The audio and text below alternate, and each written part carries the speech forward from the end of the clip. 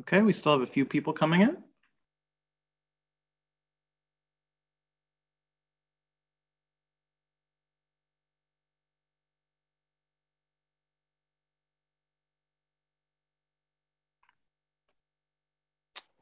All right. Good evening and welcome to the Hudson Library and Historical Society's live event with Sara Manning Peskin, author of A Molecule Away from Madness, Tales of the Hijacked Brain. Before we get started, there are a few things I want to share with you.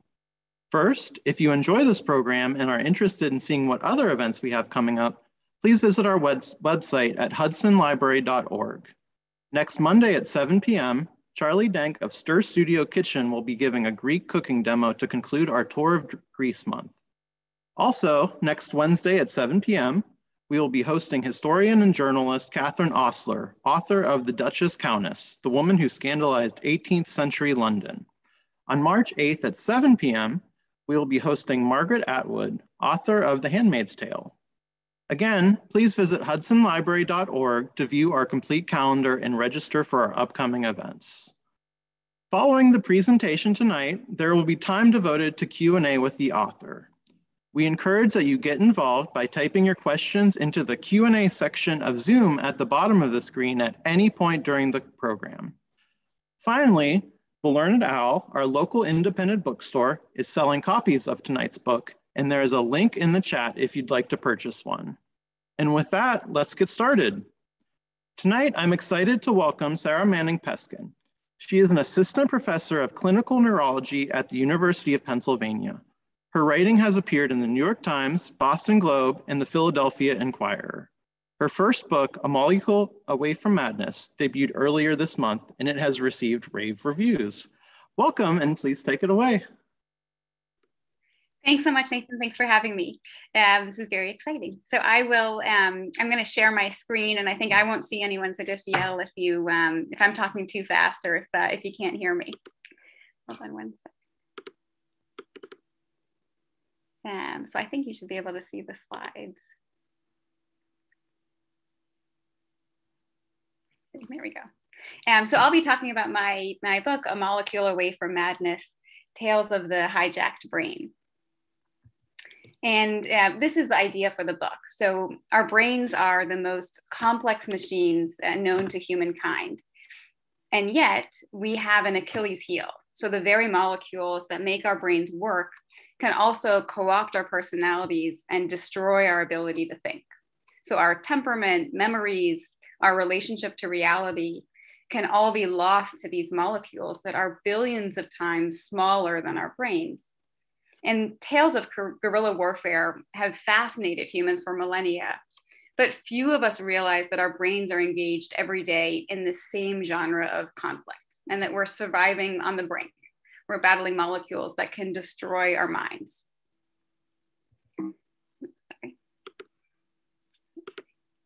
So when I had the idea for the book, um, I wrote down a, a, list of diseases that I uh, that I see often in uh, in my neurology clinic and in, um, in the neurology wards, and I focused on diseases that change personalities because that's what I'm most interested in.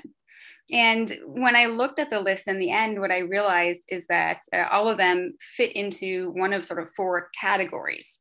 Uh, they're caused by these four different general types of molecules. So the first is mutants, and these are diseases that are caused by changes in DNA. Uh, the second category is rebels, and those are conditions that are caused by changes in proteins. Um, and actually, the, the picture above rebels um, is that's actually the, the molecular structure of the protein that makes egg whites white. Um, and if you think of DNA as sort of the the uh, the computer code that gives the instructions for being human, proteins are really the the workhorses of staying alive. That's actually really what does most of the work in our cells is proteins. The next category is uh, diseases that are caused by invaders. Uh, these are conditions that are caused by molecules that uh, breach the body, uh, get into the brain, and, and cause havoc. Um, and then the last is evaders. And these are conditions where they're caused by the, the lack of an important molecule. And the, a great example of that is it's a vitamin deficiency. So that's most of the science that you'll need to know for the whole thing. Yeah, so hopefully now you can just sort of uh, sit back and relax, and I'll tell you some of the, the stories from the book. Um, so the first is a story from the, the first section, which is about mutants.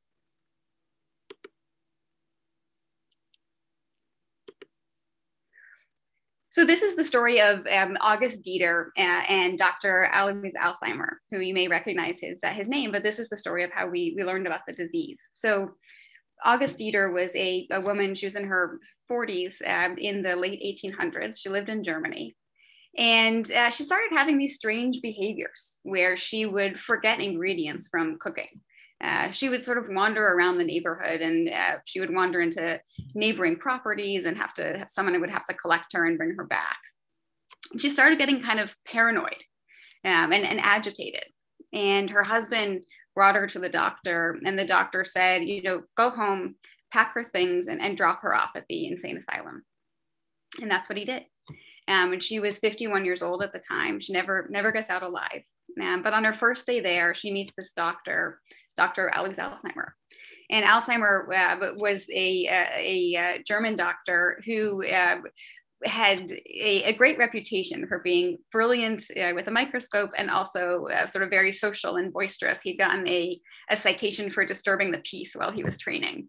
Um, and, uh, and he was just really interested in his patients. And so he meets August Deter and he starts trying to examine you know what can she do what can't she do so he brings a few objects with him and he shows them to her and he says you know what's this and what's that and she seems to be able to name them correctly but if he goes away and comes back a few minutes later she has no idea that he was ever there.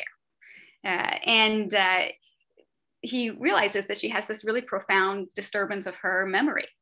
And that was something that they, people had seen often in, in people who were older, but it wasn't common to see in someone who was only 51. So it sort of perplexed him and he spent a long time going back and doing different tests on her and figuring out you know how did she do with calculations? It turns out she was was pretty good at making calculations.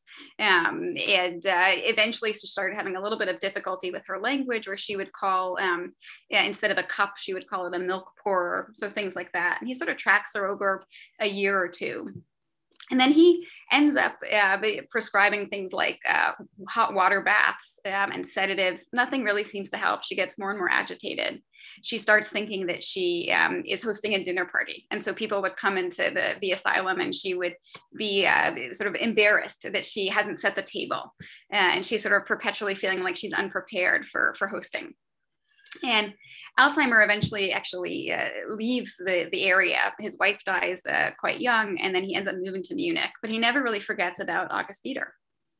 And in Munich, he sets up this lab at the University of Munich, uh, but he keeps in touch with the folks at this initial uh, asylum. And at one point, he even actually pays out of his own money to keep August Deter in this asylum where she was because he wants to be able to examine her brain after she passes away. Um, and you can imagine nowadays, if you have a question about your brain, you can go to the doctor and they can order an MRI or a CAT scan. Um, in those times, if you wanted to know what the brain looked like, you had to wait till someone passed away. So that's what Alzheimer did. And sure enough, a few years later, he gets a call from a, an intern from the uh, this initial asylum uh, who says, you know, I know you were interested in this patient. You want me to send over her brain? And Alzheimer says, sure, send, send it over. So he unpacks it, uh, and they've also sent over her records. Uh, and uh, he he unpacks the brain and he starts uh, slicing it into small pieces, and he looks at it under a microscope. And this isn't the exact you know, photos of what he saw, but this is essentially uh, the structures that he noticed. Um, so he noticed that there were these things called plaques. That's the um, on the bottom left. They're sort of these. Uh, they look sort of like a spray painted spot. Um, and those are outside of neurons. That's in sort of like the, um, the supportive structure in the brain. And then he noticed these things called tangles, and they look sort of, this isn't maybe perhaps the best picture, but they look sort of like spaghetti um, inside of neurons. And he's really surprised at these structures. He's never seen anything quite like it. Yeah. And at that point, it, it was thought that people who lost their memories, that the problem was what they called hardening of the arteries. But he saw so many of these plaques and tangles that he thought, you know, I wonder if this is actually what's causing the disease. So he ends up going, uh, putting his slides together um, and going to another city in Germany to this conference. And he goes up to the podium and he delivers this talk about this unusual finding with August Deter. And he finalizes his, one of the final statements he says is, you know, is this an old disease or have I actually discovered something new? And it turns out there's total silence in the audience.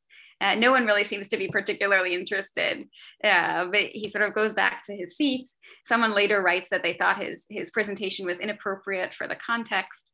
And, uh, and later in the day, someone gives a presentation about excessive masturbation, and the audience loves it. They're totally enamored with the speaker. Yeah, they, uh, they are completely engaged. And August and uh, Alzheimer ends up going back to his lab, uh, sort of disappointed and surprised that he didn't get more attention for his finding.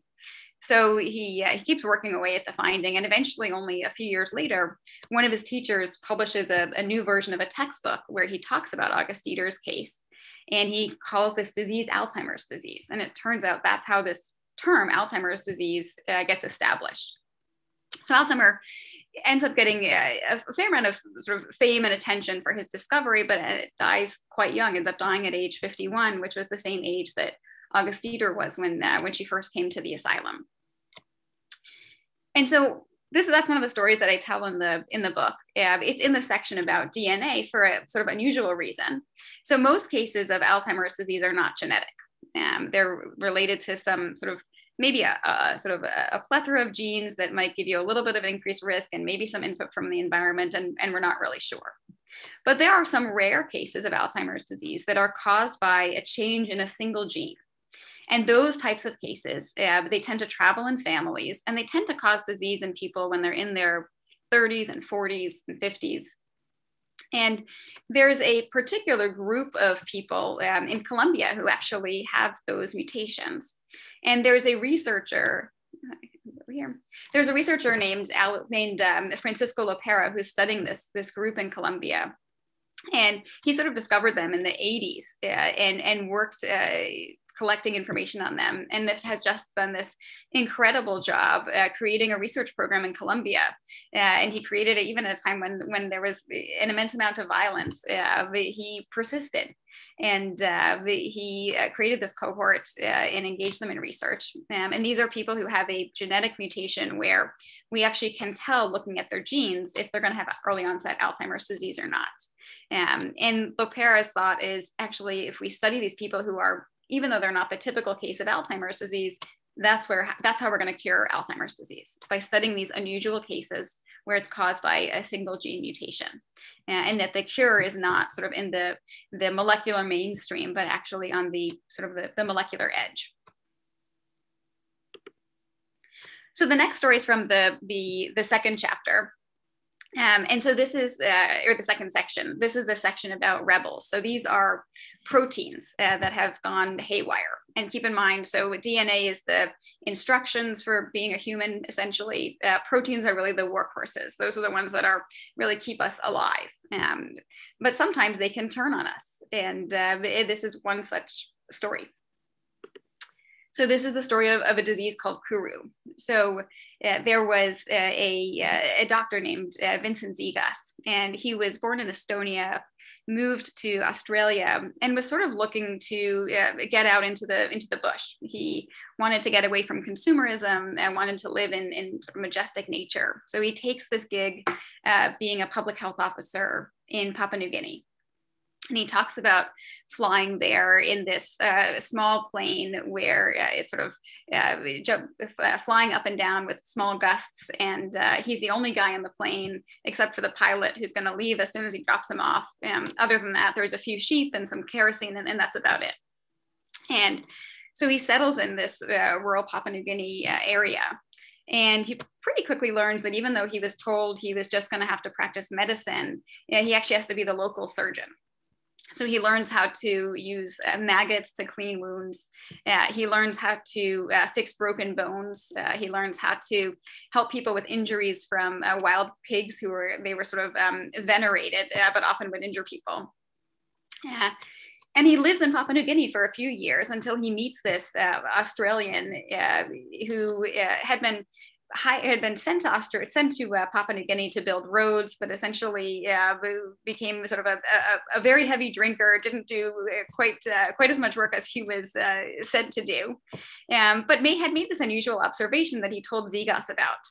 And this Australian guy tells Zigas about this disease he's been seeing in rural Papua New Guinea. And he says, there's all these women and children, and they're starting to shake, and no one can figure out why. And they also start to lose their words. So they stop making sense, and they have this really strange, sort of vacant laughter. Uh, where they're sort of laughing, even though the situation isn't, you know, isn't, is not humorous and uh, and then they die within a few months or within the year of, of developing the disease and the disease was so bad that actually uh, they were running out of, of women to marry so in, in most most tribes in papua new guinea there were um, you know many women and, and men tended to be killed in warfare in this tribe actually uh, there were many men and they wouldn't have enough women because so many of them were dying from this disease um, and, and, and children as well and it seemed to be that the disease was infectious because people could tell it didn't exist until about the sort of early 1900s or so. And by this time in the mid 1900s, it seemed to be, you know, very, very common.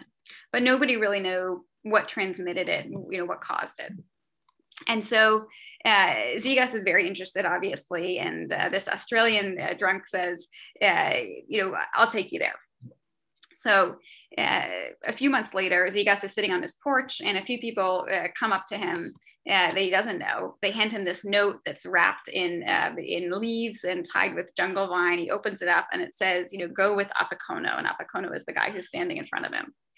And so they venture out into this, the highlands of Papua New Guinea, and Ziga starts seeing this disease, and it looks exactly like this guy described, where uh, when he sees women with the disease, they sort of try to stand up to a standing position. They'll sort of gaze at him, start laughing, and then often fall down. And the same with with children, and he sees it in people, you know, who are you know 10 years old, really young kids. Um, and he's just sort of horrified by what's happening he goes back to his cottage and starts writing letters around the world saying, you know, this is what I'm seeing. Does anyone recognize it? Uh, it doesn't get much of an answer uh, initially. And then another scientist ends up joining him, uh, and they end up setting up shop in the middle of this uh, this epidemic. And uh, they they convince the people to actually donate bodies and to to allow them to study the people's brains and they start creating slides from the, the brains of people with kuru and they send them out all around the world and say you know please help tell us you know what is this and one of the places they send it to um, is the National Institute of Health or the NIH um, in the US. And then they also send it to the um, this uh, museum. They set up a, an exhibit in London. And um, it, the uh, at the NIH, uh, the scientist takes a look at the slides and says, you know, this looks a lot like the, the disease Creutzfeldt-Jakob disease, which is a different disease in humans uh, that's very rare, but actually causes really similar symptoms. It tends to cause people to have difficulty with balance, difficulty reaching for an object. Uh, it, it, causes them to have a very rapid onset uh, dementia with with uh, with confusion, and uh, and often they die within within the year. And the slides that get sent to this museum in London uh, get put up for an exhibit. And this veterinarian stops by, and he says, "You know, these these slides look uh, look exactly like the the microscopic images of sheep that I've been studying that have this disease called scrapie." And scrapie actually causes similar symptoms in sheep, yeah, and it causes them to get sort of unsteady on their feet. The name actually comes from the fact that it causes sheep to um, scrape their skin against things. Um, and so they start to realize that these diseases, Kuru, this disease in Papua New Guinea, uh, Creutzfeldt-Jakob disease, which is this disease in humans that they mentioned at the NIH, um, and Scrapie, this disease in sheep, they actually all look really similar under a microscope. And this is sort of what they, what we now know they look like. Uh, but they're called what's called spongiform encephalopathies. That's the name we have for them now. And you can sort of see in the top left is the normal brain. And you can see in the, the right and the, or the other three slides, you can see they look sort of spongy. There's almost like pieces are, are missing. Um, and that's what these diseases do to the brain. But the question remained, you know, what was causing these?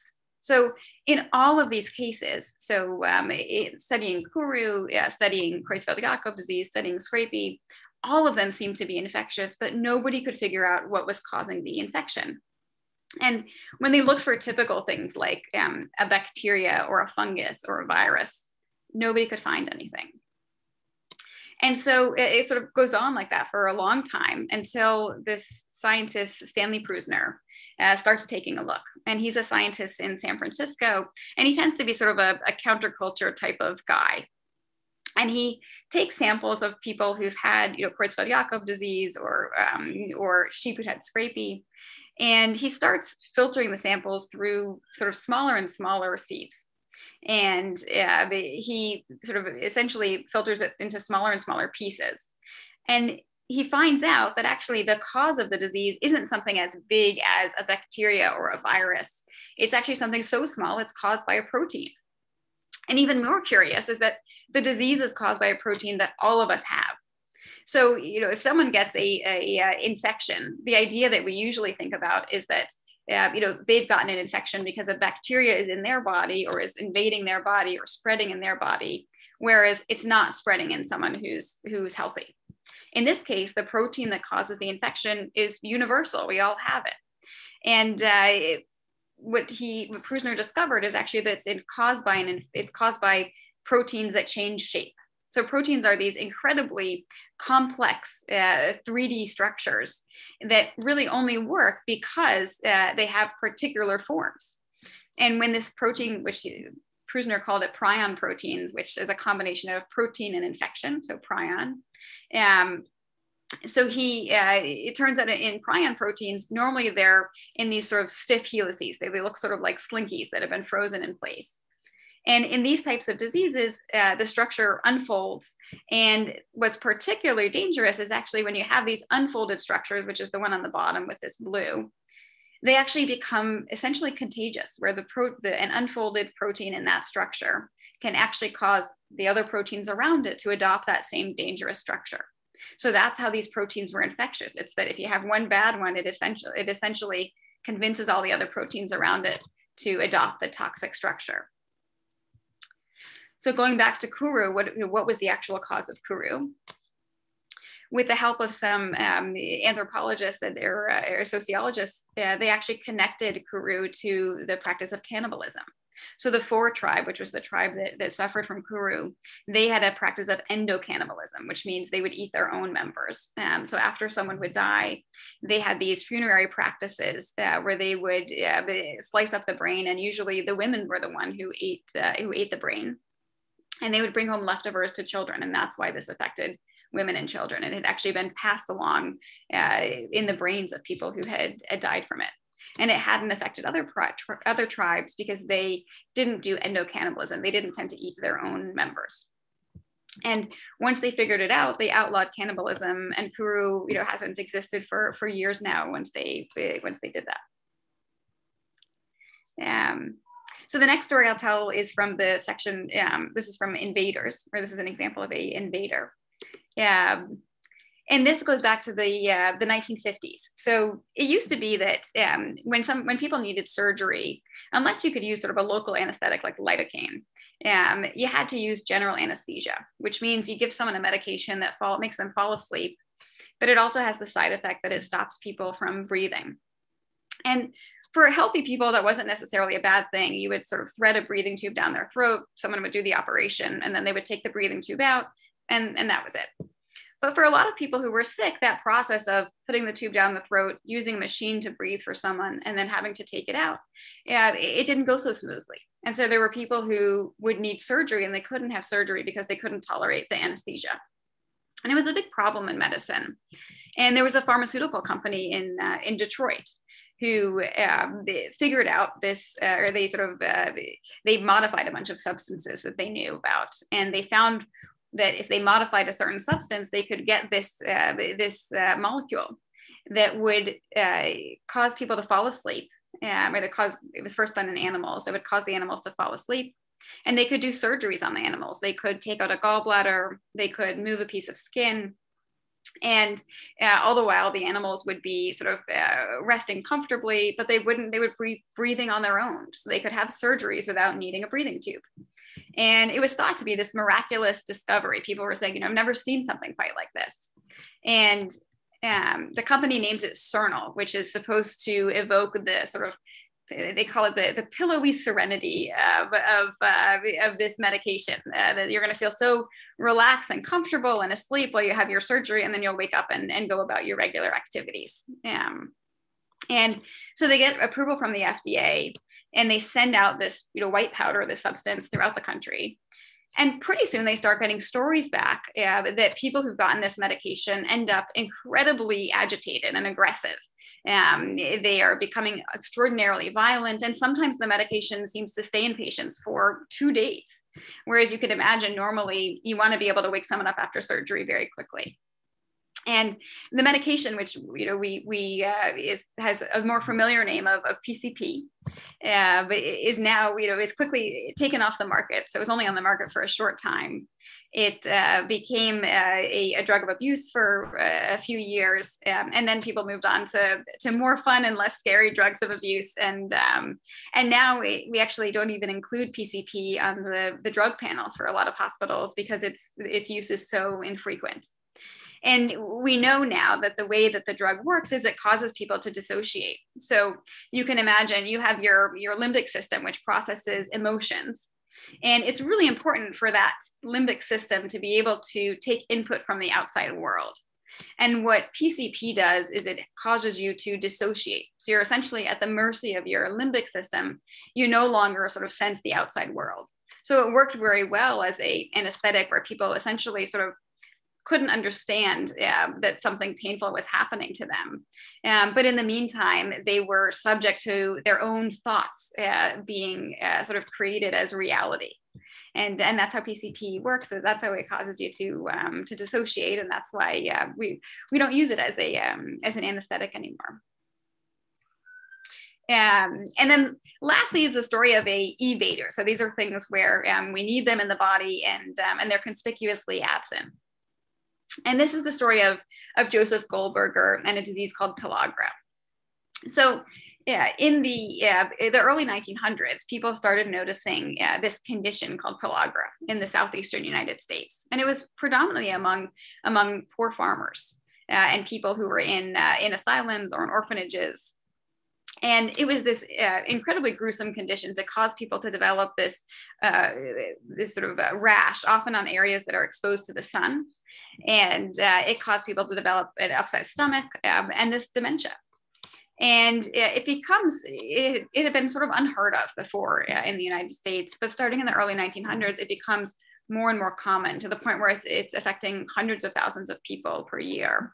Um, in some cases, like 40% of the people who get it are dying from it. It's just, um, it's a horrible epidemic. And no one can figure out what's, what's causing it.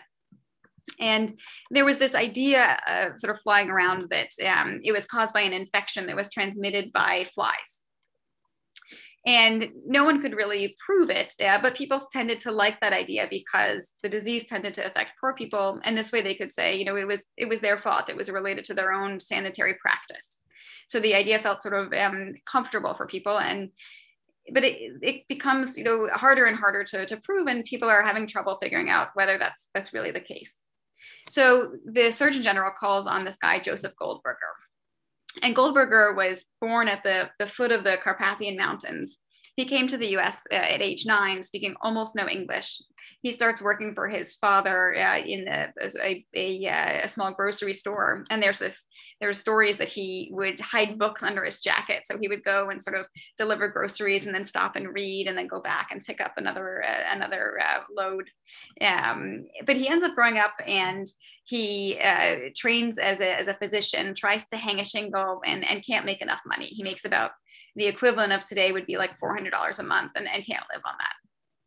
And so he decides to join the, the, the public health service.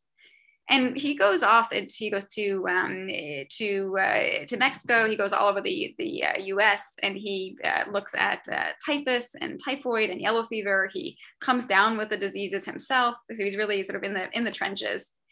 And then come 1914, the Surgeon General calls on Goldberger and says, you know, could you take a look at pellagra? Can you help us figure out what's causing it?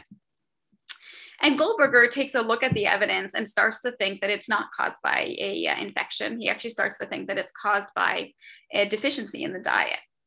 And it's a really controversial idea because um, it's not as palatable to people um, because it, essentially it's implying that we're starving our own people um, rather than something that it's a disease that's brought on, you know, uh, brought on people by themselves. It's it's actually we're we're starving people.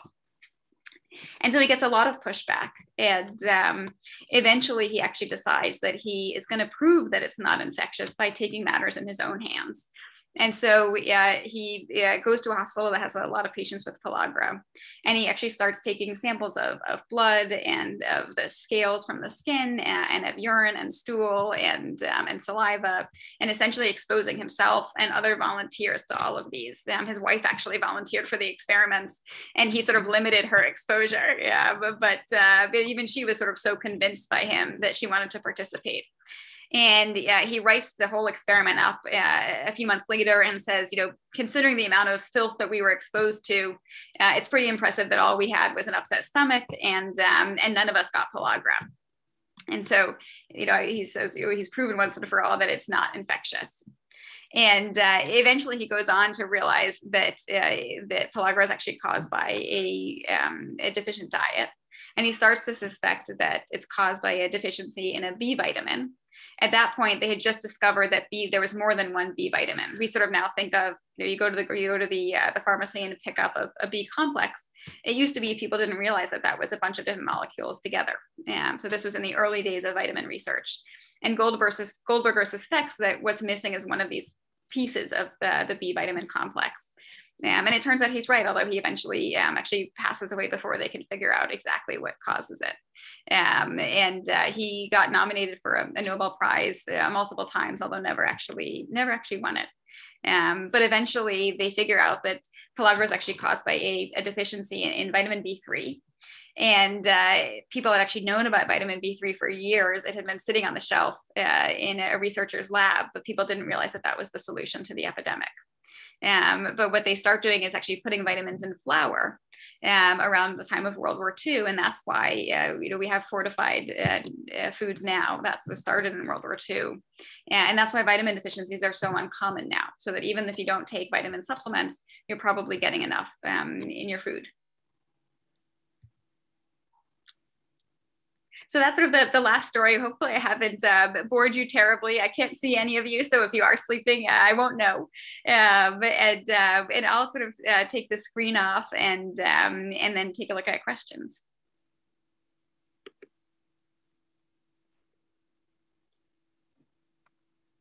Yeah, so thank you so much for that. Um, we have, so yeah, please, everyone, please ask your questions. We had one come in. Someone just wanted clarification on what happened to Dr. Alzheimer. How, what did he die of? Yeah, so, so he didn't die of the disease that he discovered. He, um, and I have to go back. It's it, it's in the book, and I'm I'm uh, I may be misremembering. I want to say that he died of, of heart failure, um, but I could be wrong. I, uh, I know it's in the book, and hopefully it's it's written dramatically and nicely in the book. But uh, but now I'm not remembering. He did have um, he uh, had his his kids at his um, at his bedside when he passed away. Yeah. So I, I kind of want to know a little bit more about your background and how you became interested in the subject. So yeah, but I I started off um, more as a basic scientist. Uh, but so, uh, but actually, after college, I had applied to um, these combined programs where it's um, MD, PhD programs where you do both degrees. Uh, and then uh, I did the beginning of medical school, and then I went off to do my PhD. And I realized that I loved writing about science, but I didn't actually want to do any of the experiments myself. Yeah, I actually liked talking about science and writing about it more than I liked, you know, sitting, uh, you know, at 10 p.m. on a Friday night waiting for a vat of bacteria to grow. And um, so I ended up actually uh, quitting my PhD and going back to medical school. And then as a resident, uh, we had to do night shift and we had to do two months of, of nights. And sometimes they were really busy, but sometimes they were quiet and, um, and a little bit lonely. And that's when I started writing. Um, and then I did some sort of memoir pieces. I wrote a, a, um, a modern love piece about uh, a, honeymoon, or a honeymoon that we had, uh, had gotten lost on. Um, and then I shifted to writing about um, writing about neurology and writing about medicine. Yeah, that was great. You have your articles linked on your website. Just your range, like of stuff that you write about, was really cool. Um, at, at, one point, my husband told me to stop writing about our marriage, so I had to shift to something else. um, so we have a question about what research you're working on now. So right now I do, um, I work on um, clinical research projects. Um, so there are research visits for people who are involved in, in clinical trials. Um, most of the diseases that I wrote about in the book actually have cures, um, but there are these big giants like Alzheimer's disease where um, that's sort of the holy grail that we, we don't have a treatment yet. Um, but the only way we'll find a cure is, is in research trials. Um, so that's, that's the, the work that I do. Okay, yeah, that, that kind of relates to another question that came in that that's basically if Alzheimer's started studying this so early on, why isn't there a cure or better treatments for it? Yeah, and it's so many of us are asking ourselves, you know, how is it that um, you know cancer doctors have found wonderful treatments, uh, and they have this whole arsenal of uh, molecularly targeted treatments for their patients. So if you come in with breast cancer, they're going to take a biopsy and they're going to tell you exactly what molecules your breast cancer has, and they're going to choose a treatment based on that. We don't we don't have that yet um, in the brain, and there's a few reasons for that. One is uh, it's extraordinarily hard to figure out what's actually happening under a microscope in someone's brain. So people come in, we do lots of tests on them. You know, we take pictures of their brain, and even in a yeah, in a sort of um, a big center like ours, we're only about sort of 80 or 90% ac- accurate in deciding if someone has Alzheimer's disease. So about 10% of the time we we get tricked despite all of it we more recently we actually have the technology to uh, detect the proteins that cause alzheimer's disease in living people. So we've gotten so much better. That's been a huge a huge um, sort of leap uh, where we can now uh, essentially be, be sure that someone has alzheimer's disease while they're still alive. But that's that's fairly recent. So for a long time we were enrolling people in trials that didn't actually have alzheimer's disease.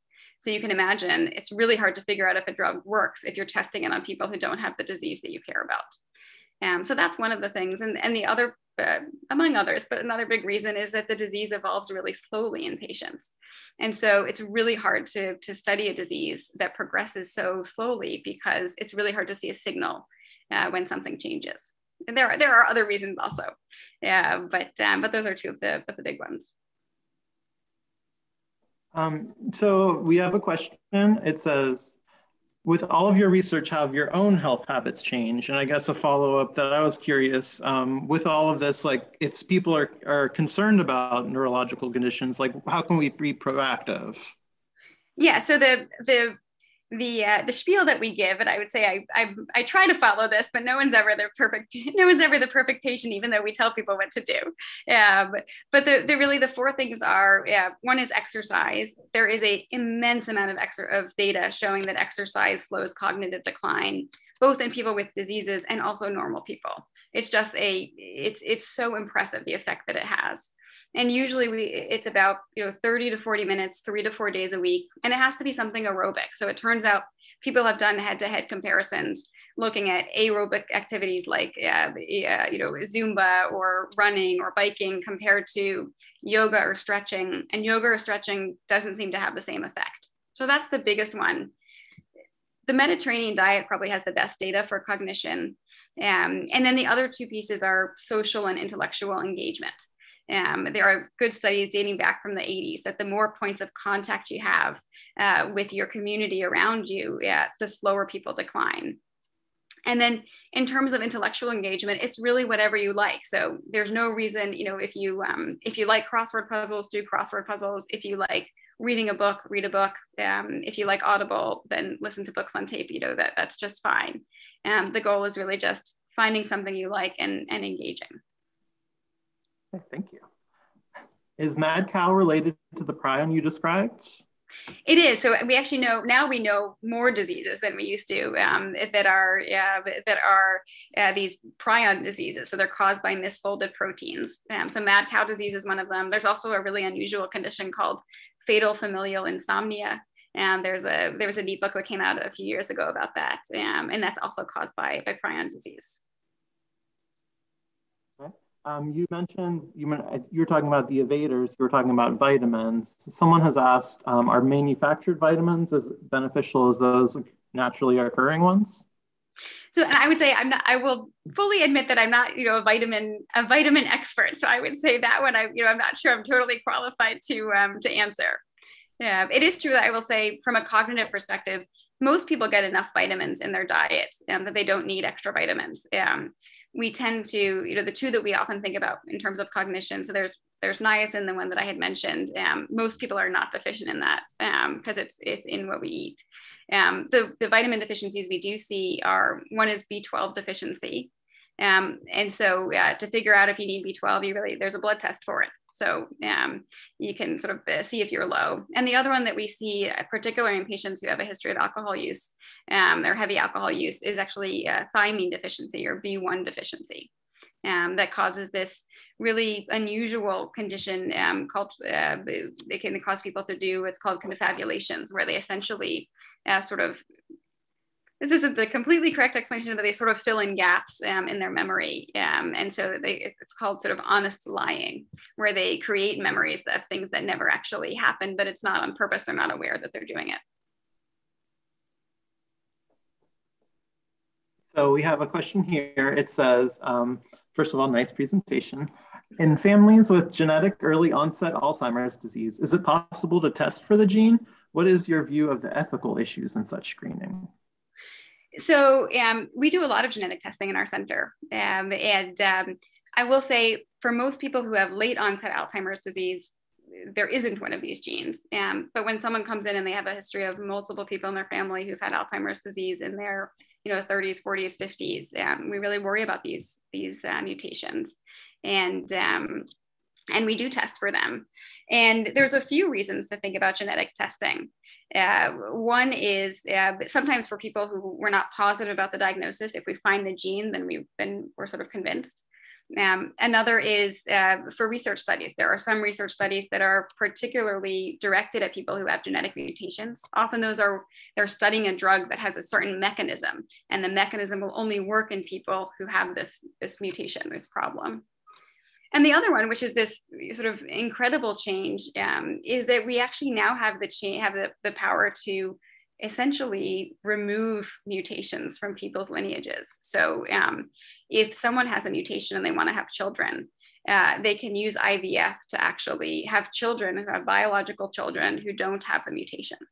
Um, so what they actually do is that you know you merge sperm and egg in a in a petri dish you can take away one of the cells, look and see if it has the mutation, and then you would only uh, sort of um, implant or you would only use an embryo that, that doesn't have the mutation. Um, and that's just this incredible technology. You can literally remove mutations from, um, from someone's lineage. Is there a difference between Alzheimer's and dementia? So that's the most common question that I have that I ever get in clinic. Yeah, um, and there, there is, and they're not, you can have one without the other. So when we think about cognition, the first question is, you know, how well does someone function in real life? What does it look like when they move about the world? Um, and there's a spectrum. So there's normal, which is normal for your age and education. There's something called mild cognitive impairment. That's where you notice a problem. We can pick up something a little bit abnormal on testing, but you're you're doing everything you always used to do, just a little bit harder. And then there's dementia. What dementia means is that there are sort of complex activities that you can't do. So um, you can't drive, or you can't manage your bills, or um, you know you can't cook because of the memory and thinking problems. So that's what dementia means. It's actually a description of what does it look like when someone functions in the real world. Alzheimer's disease is a description of what's going on eh, under a microscope. So it's it, it's defined by buildup of you know, plaques and tangles, which are we now know are made of these proteins called amyloid and tau. But that's what defines Alzheimer's disease. And we've actually become so good at detecting it that we now have some people who are totally normal. So they don't have any symptoms. Um, they're normal on cognitive testing. But we can use these imaging techniques and figure out that they have amyloid and tau buildup. So they actually have Alzheimer's disease, even though they are completely normal. Um, and then there are also people who have dementia. So they have, you know, in everyday life, they have difficulty, um, but they don't have Alzheimer's disease. So under a microscope, they don't have amyloid and tau. Their symptoms are actually caused by something else. So it might be caused by something like uh, Lewy body disease or frontotemporal dementia or vascular disease. So all these other conditions.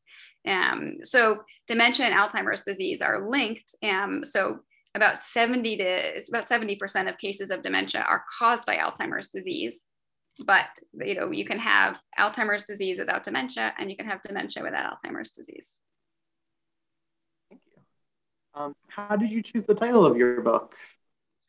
Um, it was a little bit of a, it, it evolved over time. So it um, it started off as um, I think a molecule of madness, and then um, a, um, a mentor of mine suggested a molecule from madness, and then a reader suggested a molecule away from madness, and that's how it how it uh, sort of evolved. And then there was lots of debate about whether it was too intimidating to use the word molecule in a title, um, but we we eventually decided it was okay. um,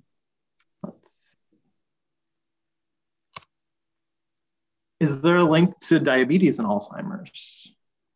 So um, we know that there's an increased risk um, in people who have diabetes, but where there's an increased risk of dementia um, in people who have diabetes, but exactly how that works, we're, we don't 100% know.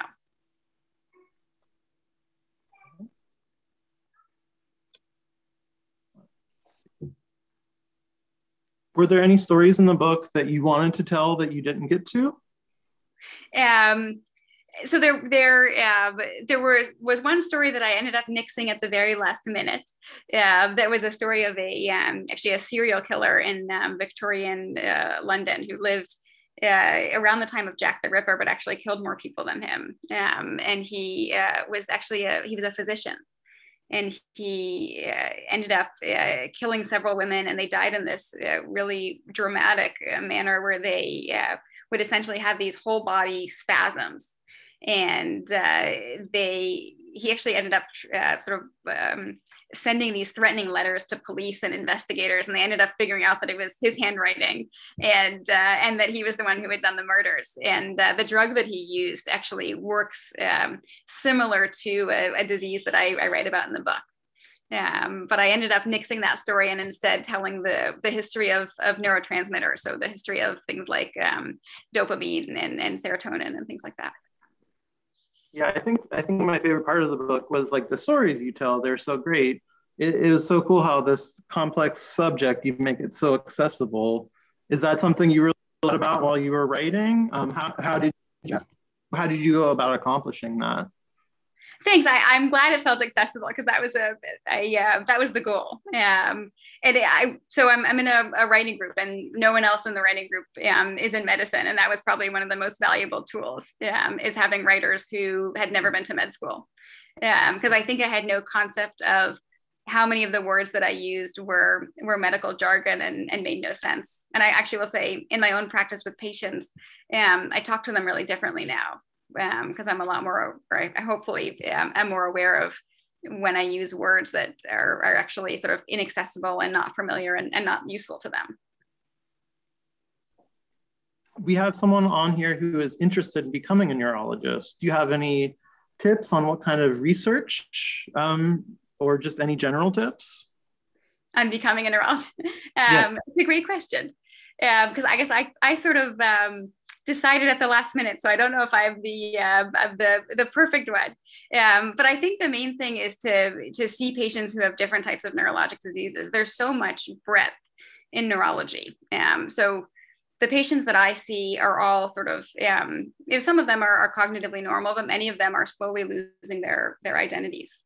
Um, and it's a it's a sort of treating families in some ways. It's very much not a, a, broken bone disease. It's it's treating patients and also treating the people who are watching them go through it. Um, but there are other kinds of neurology that are totally different, where you know all of people, you know, other colleagues of mine see patients that are essentially all cognitively normal, um, but have other issues like uh, seizures, or they have you know progressive weakness, uh, or yeah, they have uh, inflammatory diseases like multiple sclerosis. Um, so there's just there's a huge amount of variety. Um, so I think the main thing is is just trying to get exposed and and to if, if you find any way just to um, to get in the clinic and start um, start seeing people. Um, we have a question here about Lewy body. Um, how is that different than other dementias? So Lewy body um, is uh, is under a microscope, it looks different than Alzheimer's disease. So Alzheimer's, if you look under a microscope, you'll see plaques and tangles, which is those proteins, uh, amyloid and tau. Lewy body, when you look under a microscope, you'll see buildup of a different protein called synuclein. Um, and it was uh, it was discovered by this guy, Dr. Lewy, uh, who uh, fled um, fled Europe in in uh, World War II, and then actually settled uh, around around here on me um, in the, the Philly area. And, and made his discoveries. And Lewy body disease tends to cause different symptoms. So the classic finding um, in Lewy body disease is what's called well-formed hallucinations. So you have patients who come in and say, um, you know, I'm, I'm, sitting in my bedroom and I see a few people sitting on the bed, and I, I know they're not real, but they look really, they look really vivid, and they really seem real, and they're often not threatening. So they're not. Sometimes they're scary to people, but often they're not scary. They're just, you know, surprising. Um, or people will say, you know, I looked out the window and I, I thought I saw, you know, a bear walking by. People will see animals. Um, and uh, that's sort of a, a classic finding in Lewy body disease. Um, we have a question about short-term memory. Um, does it change as we age? How does it change as we age? So it does. So yeah, um, this is a surprising thing that people um, people often sort of I think don't pay attention to is that even in normal aging, um, cognition changes. So there's sort of you can sort of think of cognition in two different groups. So there are some skills um, that get better and better and better until your 60s or so, and then they get worse. And that's things like um, uh, remembering facts, like why do we have a parole system, something like that. Um, there are other skills that are called fluid intelligence. That's things like um, there's a detour and you have to find your way around without a GPS. Or um, I'm going to give you a list of 10 grocery store items and I want you to go to the grocery store without a list and, and pick them up those types of skills, it turns out, um, start getting worse in our 20s and just get worse and worse and worse over the rest of our lives. Um, so even in normal cognition, there is a decline. So when we're thinking about, um, you know, is someone normal or not normal, the question isn't, you know, are they worse now than they were five years ago? The question is, how do they compare to peers, um, you know, of the same age and the same education? Um, so you really have to sort of standardize it. So cognitive decline, cognition declines even in normal aging. There's actually there's a um, there's a, a, talk that I've done called um, "Am I losing my marbles or am I just getting old?" That sort of um, is sort of about that. Um, and there's a, a piece that'll come out in the in the Washington Post that sort of addresses that topic. Is there a link between Parkinson's and some of these conditions? So yeah, so so actually Parkinson's and Lewy body disease that someone had asked about are, are related and they're on sort of the same spectrum. Um, and in Parkinson's disease, also over time, we do in, in many cases see see cognitive issues. Um, so um, the the technical rule is that in Parkinson's disease, we see um, movement changes at least a year before we see cognitive changes, whereas in Lewy body disease, the cognitive changes start around the same time as movements, um, but they're really just, it's a spectrum of the same thing. One thing I noticed about the book was, um, it, you know, it's tough reading about this stuff. It's they're very difficult, but I felt like the overall tone was positive and hopeful. Um, it, can you elaborate on that? Like, is, do you feel like we we are really um, progressing in how we're like fighting these conditions? So uh, in writing it, the goal of the book was to sort of, uh, I wanted to impart a sense of hopefulness because I, I do feel like we are so much closer now, you know, that uh, you know, we, we, we are able to do things now that we weren't able to do not that long ago. Even something like, you know, for Alzheimer's disease, for so long, we had no idea who really had the disease. Now, if someone comes in, I can put them in a PET scanner for you know a short time, and I can tell them, you know, do they have? I can say, you know, do they have elevated amyloid? Do they have elevated tau? I can actually figure out what molecules are building up in their brain, taking a picture um, in a real life person. Um, and that's something we never had before. It's just it's a incredible, um, incredible step. And in the book, actually, most of the diseases that I wrote about, you know, we've solved, we've cured. Um, so there are uh, one of the stories is about a, a young woman who um, uh, graduated uh, from college, uh, but she'd been this sort of incredibly brainy, brilliant woman. And then in the summer after college, she uh, wakes up one morning, starts repeating herself. Her mom is sort of suspicious. She uh, gets a fever. Her mom takes her to the hospital, and she becomes just totally psychotic. And she starts thinking that she's living in a in a TV show called The Walking Dead that she had been watching that summer and um, she ends up actually getting brought to a different hospital where they uh, they figure out what's the molecule that's causing her disease and they treat her and she goes back to being normal and that's a, a, condition that was only discovered in the early 2000s. Um, and uh, we not only figured out what's causing it, we now figured out how to diagnose it, how to treat it. Um, and these are people who otherwise would have gone their whole lives with a diagnosis of schizophrenia. Um, so there's just been these incredible advances. Um, and um, so the book is meant to be hopeful because I guess that's also how I feel. Great. Um, so we have one on on the pandemic, given your comments on socialization and cognition, what thoughts do you have on the long-term impact given the isolation of the pandemic? So that's a question that we're grappling with. Um, and um, certainly, yeah, I have no doubt that the isolation that everyone has felt in the pandemic is not cognitively healthy. I can see it in our own patients that, um, particularly in the beginning of the pandemic, when it, you know really no one was going out at all, um, we were getting more calls about agitation. We were prescribing more medications for agitation. And um, for caregivers, it's extraordinarily stressful. Many of them were relying on aides to come in and give them relief, um, or even the ability to just um, you know get away with their own social network um, to get uh, to get some respite, and suddenly that's taken away. Um, so these safety nets were gone, um, and these many people went to adult day centers and they were closed. Um, so it was just um, it, it, was sort of catastrophic for a lot of people. It's just been um, really difficult. Yeah, but it and I haven't seen studies showing it yet, but I don't have much doubt in my mind that I don't think that you know I don't think that the isolation of the pandemic has been good for our population.